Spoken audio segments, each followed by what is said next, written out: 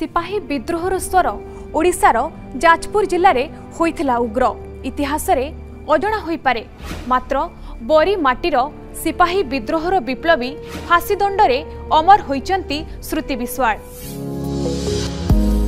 ତାଳ ତମାଳ ନଡ଼ିଆ ଓ କିଆବଣର ପ୍ରାକୃତିକ ପରିବେଶ। ଅନତି ଦୂରରେ ପ୍ରବାହିତ ହେଉଛି ଖରସ୍ରୋତା ଓ କାଣି ନଦୀ। ନଦୀର ସନ୍ନିକଟରେ ରହିଛି ଛତିଶ ଦେବିଲ ରାଜସ୍ୱ ଗ୍ରାମ। ଯାଜପୁର ବ୍ଲକର ଏହି ଗ୍ରାମରେ ସ୍ଥାପିତ ହୋଇଛି ହଜାରେ ଖଣ୍ଡାୟତ ପରିବାରର ବସତି। ପୁଣି ଏହି ଗାଁ ହେଉଛି ଦେଶପ୍ରେମୀ ଶହୀଦ ଶ୍ରୁତି ବିଶ୍ୱାଳଙ୍କ ଜନ୍ମମାଟି ଶ୍ରୁତି ବିଶ୍ୱାଳ ବ୍ରିଟିଶ ବିରୋଧୀ ଲଢ଼େଇରେ ଗାଁ ପାଖ ବାଲିଆର ବିଶିଷ୍ଟ କବି ଅଭିମନ୍ୟୁ ସାମନ୍ତ ସିଂହାର ବଂଶର ଜମିଦାରଙ୍କର ହାତ ସାଜି ବ୍ରିଟିଶ ସିପାହୀଙ୍କ ହଜାଇଥିଲେ ନିଦ। ସଂଗ୍ରାମୀଙ୍କ ଗାଁରେ ଏବେ ଢେର କିଛି ପରିବର୍ତ୍ତନ। ସିପାହୀ ବିଦ୍ରୋହ ବେଳର ଗାଁ ଆଉ ବର୍ତ୍ତମାନର ପରିବେଶରେ ଦେଖିବାକୁ ମିଳୁଛି ଅନେକ ଫରକ। ଖରସ୍ରୋତା ଓ କାଣିରେ ଆସିଛି ଅନେକ ପାଣି। ଗାଁରେ ଆଉ ନାହିଁ ଅତୀତର କିଆ ଗୋହିରେ ପାଦଚଲା ରାସ୍ତା ଆଉ ଘଞ୍ଚ ଜଙ୍ଗଲ।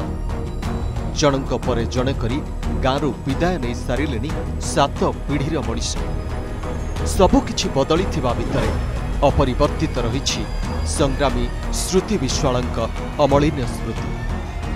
ସାତ ପୁରୁଷ ତଳର କଥାକୁ ପୂର୍ବ ପିଢ଼ିଙ୍କଠାରୁ ଶୁଣି ଠକଠାକ୍ କହିଛନ୍ତି ଗାଁର ଜଣେ ବାସିନ୍ଦା ବାଳକୃଷ୍ଣ ବିଶ୍ୱାଳ। ନିଜ ବିଶ୍ୱାଳ ବଂଶର ଗାରିମା ସୂଚାଇ ବାଳକୃଷ୍ଣ ଇଂରେଜମାନଙ୍କ ଷଡ଼ଯନ୍ତ୍ରରେ ଏହି ଗାଁର ଶହୀଦଙ୍କୁ କିଭଳି ମଣିଷ ମରା ଖଣ୍ଟର ଆଖ୍ୟା ଦିଆଯାଇଥିଲା କହିବା ବେଳେ ଭାବୁକ ହୋଇଯାଇଥିଲେ। ଇଂରେଜଙ୍କର ଧାପ ସେତେବେଳେ ଅମାନସିକ ଅତ୍ୟାଚାର ଭାବରେ ସେ ଆକୁ ବିରୋଧ କରେ ଇଏ ତାକୁ। ବିରୋଧ କରିକି ଲୋକ ଏକଜୁଟ କରିକି ରଖିଥିବା ବେଳେ ସିଏ ଜାଣିଲେ ଯେ ଏଇ ହେଉଛି ୟାଙ୍କର ମୁଖ୍ୟ ୟାକୁ ଆମେ ଧରିକି କେମିତି ଘିତି ଆସିବା। ୟାକୁ ଧରିବା ପାଇଁ ଯେତେ ଯୋଜନା କଲେ ଇଏ ଆଉ ଜମା ଧରା ଦେଲାନି। ଯିଏ ମାନେ ଲୁଚିକି ଇଆଡ଼େ ସିଆଡ଼େ ହେଇକି ମାନେ ପଳେଇବ ଛତର ଭାଙ୍ଗ ଦେଇକି। ବାଲିଆକୁ ଯାଇଥିଲା ବାଲିଆରେ ତାକୁ ଦି ପାଖରେ ଗୋଟେ ବଣ ରକମ ଥାଇ ସେ ଭାତୁଆ ପୋଖରୀରେ ଇଏ ଝାଡ଼ା ଯାଇଛି ଝାଡ଼ା ଯାଇକି ପାଣି ସାରିକି ଉଠିକି ଆସିଲା ବେଳେ ଦି ପାଖରେ ଦି ଜଣ ଚାଲି ଆଇଲେ। ଚାଲି ଆଇଲେ ଯେତେବେଳେ ଆକୁ ଧରିନେବେ ବୋଲିକି ଇଏ ଦି ଜଣକୁ ଚିପିକି ସେଠି ମାରିଦେଇକି ପଳେଇଲା। ଏମାନେ ତାକୁ ତାପରେ ଆକୁ ତାକୁ ଧରି ନେଇଗଲେ ଆକୁ। ମାନେ ଅଧିକ ସଂଖ୍ୟକ ଫୋର୍ସ ଆସିକି ପୋଲିସ ଆସିକି ତାଙ୍କୁ ଧରି ନେଇଗଲେ ଆଉ। ଆଉ ଧରି ନେଇକି ଗଲା ପରେ କଟକରେ ରଖିଲେ ଆଉ ତେର ଦିନ ପରେ ତାକୁ ଫାଶୀ ଅର୍ଡର କରିଦେଲେ ଆଉ। ଇଏ ହେଉଛି ପାଇକ ବିଦ୍ରୋହ ସମୟର କଥା। ସବୁ ଗାଁ ଭଳି ଛତିଶା ଦେବିଲ ଗାଁରେ ମଧ୍ୟ ନଥିଲା ସଡ଼କ। ଚାରିପାଖ ବୁଦା ବୁଦା ଜଙ୍ଗଲ କିଆବଣ ଓ ଜଳଭର୍ତ୍ତି ନାଳ କାରଣରୁ ଲୋକଙ୍କୁ ବାହାରକୁ ବାହାରିବା କଥା ଉଠିଲେ ଅନେକ ଥର ଭାବିବାକୁ ପଡୁଥିଲା। କିନ୍ତୁ ଗାଁରେ ଶ୍ରୁତି ବିଶ୍ୱାଳଙ୍କ ପରି ଏମିତି ଜଣେ ବୀର ଥିଲେ ଯିଏକି ଦୁଇ ଖଣ୍ଡ ବାଉଁଶ ଠେଙ୍ଗାରେ ତିଆରି ରଣପା ସାହାଯ୍ୟରେ ଘୋଡ଼ାଠାରୁ ଦ୍ରୁତ ଗତିରେ ନଦୀନାଳ ବିଲବଣ ଅତିକ୍ରମ କରି ବାଲିଆ ଜମିଦାରଙ୍କ ନିକଟରେ ହାଜର ହୋଇଯାଉଥିଲେ। ନିଜର ପୂର୍ବସୂରୀମାନଙ୍କଠାରୁ ଶୁଣିଥିବା କଥା ଆଧାରରେ ଦେବବ୍ରତ ବିଶ୍ୱାଳ କୁହନ୍ତି ଯାଜପୁରର ସଂଗ୍ରାମୀ ବରିମାଟିରେ ବ୍ରିଟିଶ ବିରୋଧରେ ଯେଉଁ କେତେଜଣ ସେମାନଙ୍କ ଅମିତ ବିକ୍ରମ ପ୍ରଦର୍ଶିତ କରିଛନ୍ତି ସେମାନଙ୍କ ମଧ୍ୟରୁ ଅନ୍ୟତମ ହେଉଛନ୍ତି ଶ୍ରୁତି ବିଶ୍ୱାଳ।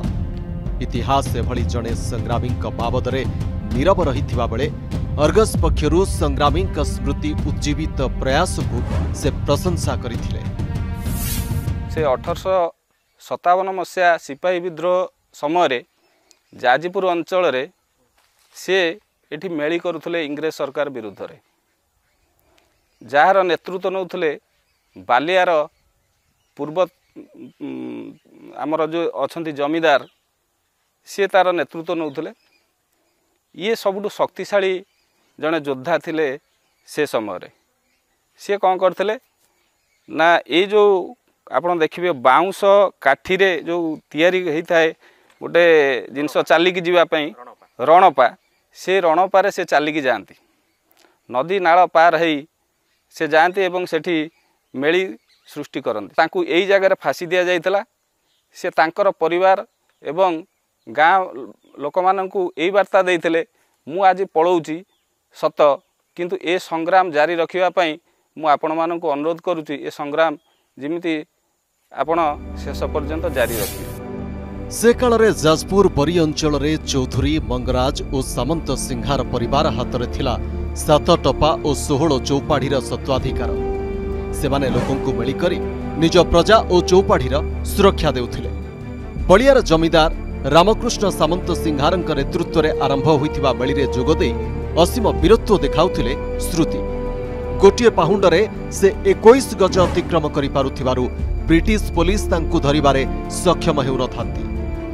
ଦିନେ ସେ ଭାତୁଆ ପୋଖରୀରେ ଶୌଚ କରି ଉଠିବା ବେଳକୁ ଦୁଇ ଜଣ ପୋଲିସ ଅପ୍ରତ୍ୟାଶିତ ଆସି ଶ୍ରୁତିଙ୍କୁ ଧରି ନେବାର ଉପକ୍ରମ କରିଥିଲେ। କିନ୍ତୁ ସେମାନେ ଏଥିରେ ସଫଳ ହୋଇନଥିଲେ। ବିଶାଳ ବପୁ ଓ ଅମିତ ସାହସୀ ଶ୍ରୁତି ଦୁଇ ପୋଲିସକୁ ଦୁଇ ହାତରେ ଚିପି ନେଇଯାଇଥିଲେ ଜୀବନ। ଜଣେ ସଂଗ୍ରାମୀ ଦୁଇ ପୋଲିସକୁ ମାରିଦେବା ଖବରକୁ ଲୋକଲୋଚନକୁ ଆଣିବାକୁ ଚାହିଁନଥିଲା ବ୍ରିଟିଶ ପୋଲିସ। ରାତାରାତି ତାଙ୍କୁ କଟକ ଜେଲକୁ ନିଆଗଲା ଓ ଏକପାଖିଆ ନିଷ୍ପତ୍ତି ନେଇ ଧରାପଡ଼ିବାର ମାତ୍ର ତେର ଦିନ ମଧ୍ୟରେ ଫାଶୀ ଦଣ୍ଡର ରାୟ ଶୁଣାଇ ଦିଆଯାଇଥିଲା। ସେ କହିଥିଲେ ମୁଁ ମରିଯାଉଛି ମୋର ତ ଆଉ କେହି ନାହାନ୍ତି ମୋର ସ୍ମୃତି ରଖିବା ପାଇଁ। ଗୋଟେ ଅରାନ୍ଧିଆ ଦିବସ ପାଳନ କରାଯିବ। ଆମ ସହିତ ଏ ଏ ଅଞ୍ଚଳ ସେଦିନ ପ୍ର- ସମସ୍ତଙ୍କ ଘରେ ଚୁଲି ବନ୍ଦ। ଆଉ କେହି ରୋଷେଇ କରନ୍ତି ନାହିଁ। ସମସ୍ତେ ଉପବାସ କହିକି ତାଙ୍କୁ ସ- ତାଙ୍କ ଶ୍ରାଦ୍ଧବାର୍ଷିକର ସୂଚନା ଦିଅନ୍ତି। ଆଜି ଅବଧି ମଧ୍ୟ ସେ ତ ଚଳୁଛି। ସେ ରଣପା ସାହାଯ୍ୟରେ ବିଲେ ବିଲେ ଯାଉଥିଲେ। ସେତେ ତ ରାସ୍ତା ନଥିଲା ସେ ବିଲେ ବିଲେ ଯାଉଥିଲେ। ଦୁଇ ସାଇଡ଼ରେ ଖଜୁର ବୁଦା କିଆମର ଥିଲା। ତାକୁ ଅତିକ୍ରମ କରି ସେ ଯାଉଥିଲେ। ସେଠି ଯାଇ ଗୋଳକୁଣ୍ଡରେ ପହଞ୍ଚୁଥିଲେ ଗୋଳକୁଣ୍ଡୁ ଶଇଁ ଖଣ୍ଡ ଦେଇକି ସେ ବାଲିଆ ଯାଇ ର- ରଣପା ସାହାଯ୍ୟରେ ଗୋଟେ ମଣିଷ ଯେତିକି ଯିବ ସେ ଦଶଟା ମଣିଷର ସେତି ସେଥିରେ ଯାଇ ହେବ। ଲମ୍ବା ପହଣ୍ଡ ପଡ଼ିବ ସେଥିରେ। ଆଉ ସେଇ ସାହାଯ୍ୟରେ ସେ ଶକ୍ତି ବଳରେ ପଳଉଥିଲେ ଆଉ। ସେ ବଣ କିହା ଆଉ ଖଜୁରୀ ଗଛ କିଛି ମାନୁନଥିଲେ। ଏ ହେଉଛି ଛତିଶ ଦେବିଲ ଗାଁର ସେହି ପଡ଼ିଆ ଯେଉଁଠି ସିପାହୀ ବିଦ୍ରୋହର ପ୍ରଥମ ଓଡ଼ିଆ ବୀର ଶ୍ରୁତି ବିଶ୍ୱାଳଙ୍କୁ ଦିଆଯାଇଥିଲା ଫାଶୀ। ଆଜି ପରି ସେ ସମୟରେ ମଧ୍ୟ ଏଠାରେ ଥିଲା ଏକ ବିଶାଳ କାୟ ବରଗଛ ସେହି ଗଛର ତଳ ଓ ଉପର ଡାଳରେ ସଂଗ୍ରାମୀଙ୍କ ଗୋଡ଼ ହାତ ବାନ୍ଧି ଡାଳ ଦୁଇଟିକୁ ଛାଡ଼ି ଦିଆଯିବା ପରେ ଉଡ଼ିଯାଇଥିଲା ଶ୍ରୁତି ବିଶ୍ୱାଳଙ୍କ ପ୍ରାଣ।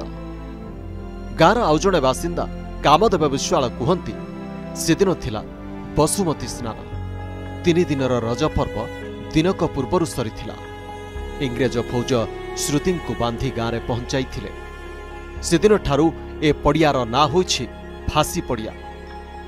ଶ୍ରୁତି ସିନା କାଳର ଗର୍ଭରେ ଲୀନ ହୋଇଗଲେ ହେଲେ ଦେଢ଼ ଶହ ବର୍ଷ ଧରି ଗାଁ ମାଟି ପାଳୁଛି ଶ୍ରାଦ୍ଧ ଦିବସ। ପ୍ରତିବର୍ଷ ରଜ ପର୍ବର ଶେଷ ଦିନ ଗ୍ରାମବାସୀ ନିଜର ରୋଷେଇ ନ କରି ଅରାନ୍ଧୁଆ ଦିବସ ଭାବେ ମାନନ୍ତି। ଉପବାସ ଜରିଆରେ ଗାଁର ବୀରଙ୍କୁ ଜଣାଇଥାନ୍ତି ଶ୍ରଦ୍ଧାଞ୍ଜଳି। ଶହୀଦ ସଂଗ୍ରାମୀ ସ୍ମୃତି ବିଶ୍ୱାଳଙ୍କ ଏ କାହାଣୀ ଏବେ ବି ଉଜ୍ଜୀବିତ ରହିଛି ଓ ପରବର୍ତ୍ତୀ ପିଢ଼ିଙ୍କ ମନରେ ଭରୁଛି ଜାତୀୟତାର ଭାବନା।